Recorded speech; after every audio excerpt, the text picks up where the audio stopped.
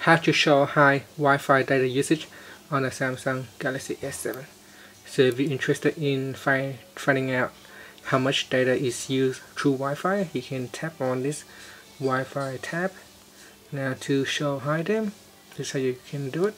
First press on the home key to go back to your home screen and tap on apps. Go into settings. In settings tap on data usage. Now by default Wi-Fi tab is disabled so you only see this by default now to show Wi-Fi usage, tap on more and from the pop-up menu tap on show Wi-Fi usage. Then from here you can tap on Wi-Fi tab at the top and by going down the list you can see how much data is being used. At the moment you can see it is 2.91 gigabyte has been used. So that's quite a lot in a short period of time.